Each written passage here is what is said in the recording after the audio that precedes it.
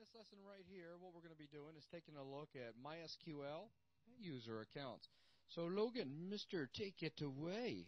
Okay, well, this is uh, we're going to set up an account inside of my MySQL that we're going to be connecting through with PHP. Basically, uh, a special account f- for just the PHP scripts to connect to the database. Now, why would you want to do something like this?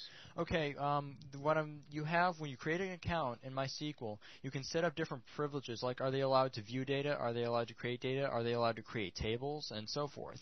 So what we're going to do is only give it the ability to like uh, to look at and work with data, and not allow it to uh, mess with tables. Because at least in the next few VTMs, we shouldn't ha- uh, be working with tables from inside of PHP. So we don't need that functionality. And when you say working with tables, you're talking about actually creating. Yes, I'm talking about like and creating like creating databases, creating tables, stuff like that. Right. Yeah, I just wanted to. Okay. So, um, if we don't create a user account, or if we don't create this account, what happens? Um, you could connect just fine, like uh, in the last video where we just simply opened up the MySQL monitor and it worked. That's because uh, it was set up to allow localhost without any uh, any kind of password. You could do that through PHP. You could just give it a blank user account or give it localhost and then a blank password and it would work fine. But this is just if you were actually working on a on someone's web server or a server that's already been set up, it's going to be uh, it's it's you're going to have to log in with the username and password. So it'd be good just to show how this is created. Right. So this technically this kind of gets important so that you're not just leaving your your database open for anyone to jump Right. in there. Okay, so go ahead. Okay, well first I'm going to have to actually start the uh, the MySQL server again. So let me switch over to my K drive. Here we go with the typing thing. Okay.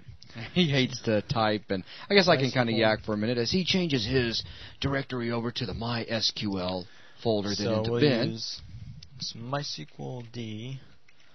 I'll be the sports announcer. No, he's going in there with his flags for standalone as he starts up the that up, MySQL D, and- and here it comes. And with that open, we don't need this window open anymore. So he's now closing the command and I'm going to go ahead and start Apache as well. We're not actually going to be needing Apache in this lesson, but we'll need it in the next one. So go ahead, start Apache. It starts. So he's now It's starting running. Apache. Okay, so now I can load up one more command prompt and actually connect to MySQL through the MySQL monitor. And he's now connecting. K drive, MySQL, bin, I know I'm annoying you. MySQL. And again, you saw we didn't actually have to have any kind of login information. It just let us on. So we're, we're going to actually be creating an account that you'll see in just a second. So I will use the database MySQL. This is basically uh, MySQL's built-in database where it actually stores all its settings. It kind of makes sense. To uh, it actually stores all of its uh, settings in a database. Okay. So, um, first we can take a look at what's in here. This is going to, uh, if we show the tables in here, we can see that they have a user table. So we can, let's go ahead and select everything in that user table and select star, again, yeah, talking and typing. Alright, so it has, you see you have a bunch of accounts, and here, let me see if I can find it. For those of you that didn't see what he did, because he was going real fast, he did a select star from user. So, yeah, select star from user, and And notice he how used a little special flag. I used the well. uh, the backslash capital G. This uh, printed out every uh, field on a new line. There's a lot of fields, and it would have wrapped pretty bad at this uh, at this width. So I went ahead and just had to print each field on its own line.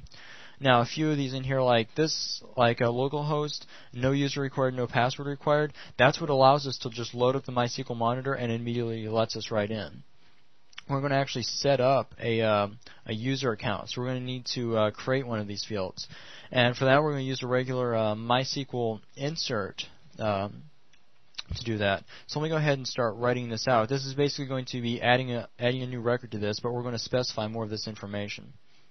So I will use insert into user and I'm going to specify what fields. Okay, now you see these are the uh, the privileges that the that these various users have, and um, this to Y or N, yes or no, will tell whether or not they're allowed to like say create a table, drop a table, or do a select on on a table.